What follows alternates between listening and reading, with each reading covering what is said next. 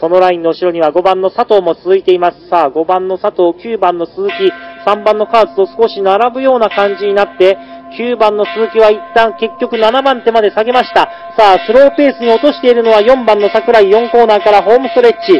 間もなく残りが1周。さあ、4番の桜井ペースを上げる。後方から9番の鈴木。9番の鈴木が一気に仕掛けて前に上がってきた。4番の桜井も懸命に踏んでいるが、ここは9番鈴木前に出た。しかし1番の斉藤が離れている。2番手は4番の桜井が入って、その後ろには2番の山田。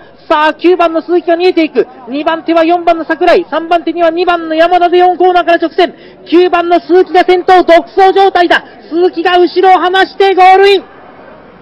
2着はどうか？2番の山田か。